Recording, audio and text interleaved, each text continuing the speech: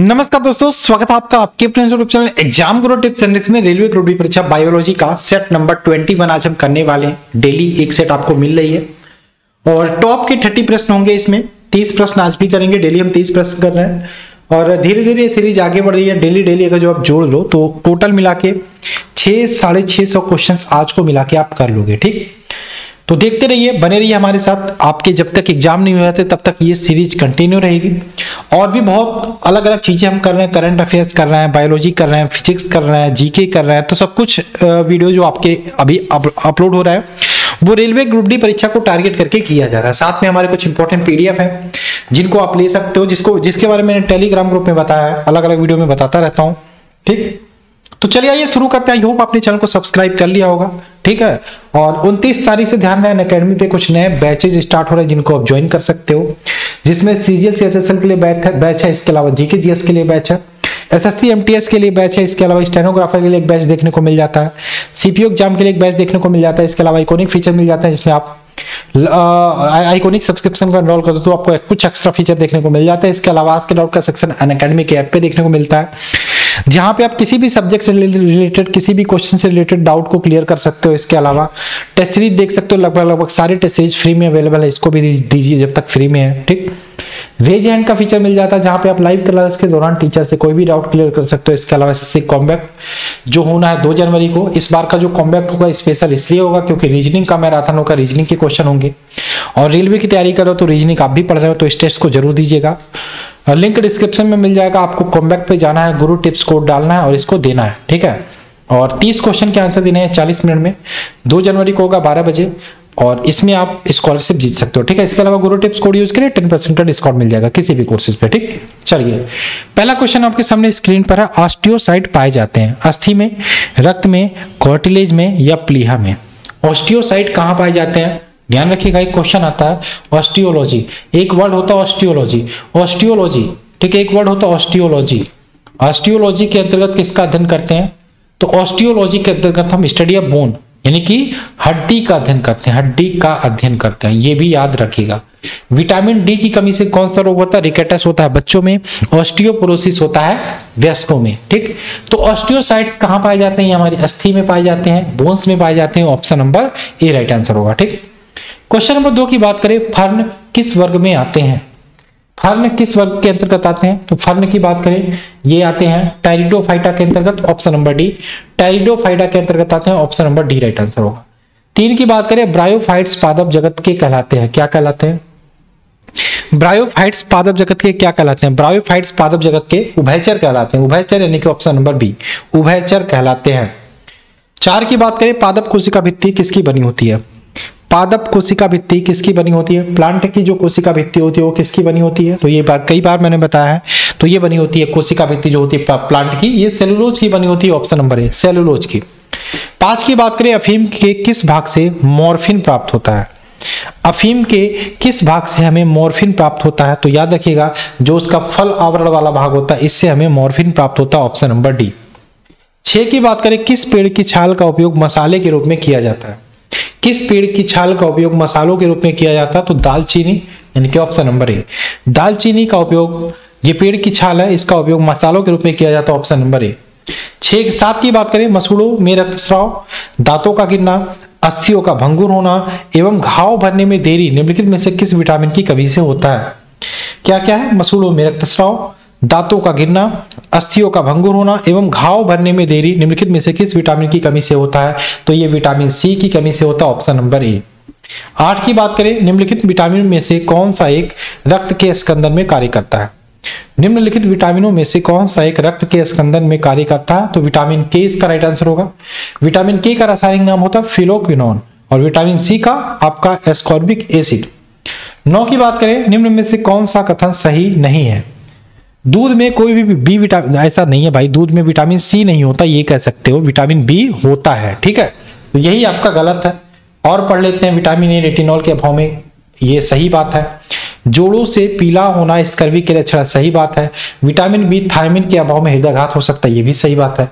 तो दूध में विटामिन बी पाया जाता है। विटामिन सी होता तो हम मान सकते थे, ठीक? चलिए क्वेश्चन नंबर दस की बात करें। इनमें से कौन सा एक संयुक्त टीका है?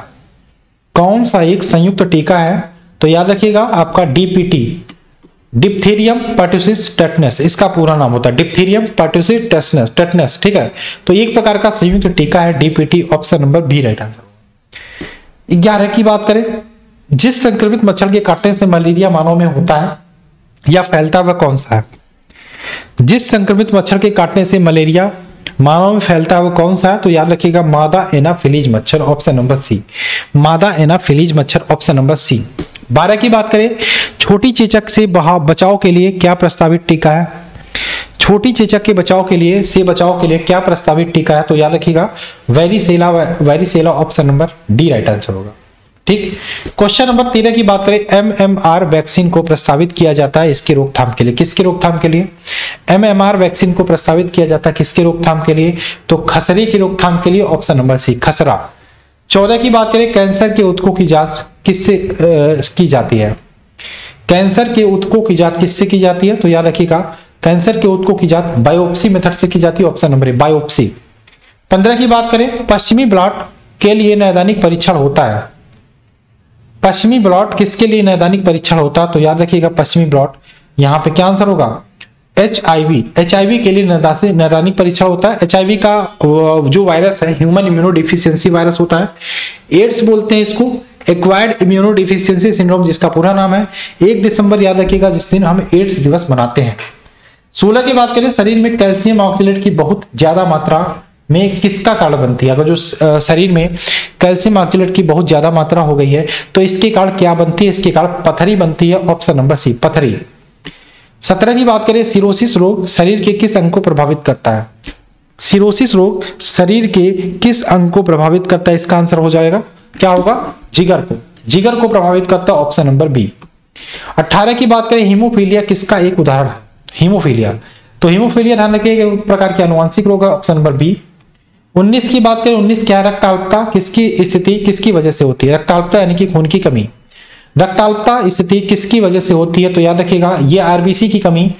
Option number B right answer होगा। आरबीसी का जीवन काल आपको पता होना चाहिए 120 दिन होता है, ठीक? आरबीसी में हीमोग्लोबिन पाया जाता है। आरबीसी में मैग्नीशियम नाम की धातु भी पाई जाती है। आरबीसी में हीमोग्लोबिन पाया जाता है। हीमोग्लोबिन में हिम नामक रंजक होता है, जिसके कारण मनुष्य के खून का रंग लाल होता है, ये भी याद रखिएगा, ठीक? बीस की बात करें, भोजन का विषाक्ता होना या बाटुलिज्म किस स्पीसीज के संदूषण से होता है? भोजन का विषाक्ता होना या बाटुलिज्म किस स्पीसीज के संदूषण से होता है? तो इसका आंसर क्या होगा? ये होता है आपका, बताइए, किस स्पीसीज के संक्रमण से होता है? Clostridium option number C. Clostridium के ऑप्शन नंबर सी। दंत क्षय का कारण क्या होगा? दंत क्षय का कारण क्या होगा? तो याद रखिएगा, बैक्टीरियल संक्रमण के कारण हमें दंत क्षय होता option number C right answer होगा। बाईस की बात करें, टाइफाइड तथा कालरा किसके विशिष्ट उदाहरण है? संक्रामक रोगों के, वायुजन्य रोगों के, जलजन्य रोगों के या फिर उपयुक्त में से कोई नहीं। तो टाइफाइड हो या कालरा, दोनों आपके जलजन्य रोगों के एग्ज़ाम्पल है, option number C right answer होगा। तेईस की बात करें, पौधों की बीमारी साइट्रस कहकर किसके कारण होती है? पौधों की बीमारी साइट्रस कहकर किसके कारण होती है? तो ये होती है वायरस के कारण, ऑप्शन नंबर ए, वायरस। चौबीस की बात करें, धान का खैरा रोग किस तत्व की कमी के कारण होता है? धान का खैरा रोग किस तत्व की कमी के कारण होता है? तो जस्ता, यानी कि ऑप्शन नंबर बी। पच्चीस की बात करें, पादप रोगों का सबसे उत्तरकाई कारक कौन सा है? पादप रोगों का सबसे उत्तरकाई कारक कौन सा है? फंफूदी, यानी कि ऑप्शन नंबर ए फंफूदी। 26 की बात करें, मूंगफली में होने वाला टिक्का रोग के लिए उत्तरदायी कवक कौन सा है? मूंगफली में होने वाला टिक्का रोग के लिए उत्तरदायी कवक कौन सा है? तो याद रखिएगा सर्वोस्पेरा सर्पोनेटा। सर्पो सर्को स्पेरा सर्पोनेटा, ये टिक्का रोग का प्रमुख कारण है ऑप्शन नंबर ए सत्ताईस की बात करें, आलू में ब्लैक हार्ट का कारक कौन है? आलू में ब्लैक हार्ट का कारक कौन है? इसका आंसर क्या होगा? तो याद रखिएगा ऑक्सीजन की कमी से आलू में ब्लैक हार्ट नामक रोग होता है ऑप्शन नंबर सी 28 की बात करें, चाय में लाल रस्ट रोग किसके कारण होता है? चाय में लाल रस्ट रोग किसके कारण होता है? इसका आंसर क्या हो जाएगा? ऑक्सीजन की कमी के कारण सॉरी लाल रस्ट रोग की बात हो रही है ना तो ये हरे सहवाल के कारण होता है ऑप्शन नंबर डी हरे सहवाल के कारण, ठीक? हरे सहवाल के कारण चाय में लाल रस्ट रोग होता है। उनतीस की बात करें रेड डॉट बीमारी किसकी फ़सल है? किस फ़सल की है रेड डॉट बीमारी? तो रेड डॉट बीमारी गन्ने में होती है ऑप्शन नंबर ए गन्ना एक उष्ण कटिबंधी पौधा ये भी याद रखिएगा। तीस की बात करें, पौधों में प्रकाश संश्लेषण क्रिया किस रंग में सबसे अधिक होती है? तो ये मैंने कई बार बताया आपको, पौधों में प्रकाश संश्लेषण क्रिया लाल रंग में सर्वाधिक होती है। किस रंग में? लाल रंग में सर्वाधिक होती है, इसको याद रखिएगा, ठीक है? कहा गया भाई? कहा गया? पौधों में प्रकाश संश्लेषण क्रिया किस रंग में सर्वाधिक होती है? तो लाल रंग में सर्वाधिक होती है ऑप्शन नंबर सी तो दोस्तों, ये थी आज के साइंस की क्लास बायोलॉजी की क्लास के तीस क्वेश्चन आई होप आपको क्लास अच्छी लगी हो। तो क्लास को लाइक करना। इंपॉर्टेंट पीडीएफ भी आप ले सकते हो। टेलीग्राम ग्रुप ज़रूर ज्वाइन करना क्योंकि अपडेट्स नोटिफिकेशन नहीं जाते। तो टेलीग्राम ग्रुप में हमारे द्वारा लिंक सेंड कर दिया जाता है। वहाँ से भी देख सकते हो। और चलिए मिलते हैं इस क्लास में। बाय जय हिंद, जय भारत।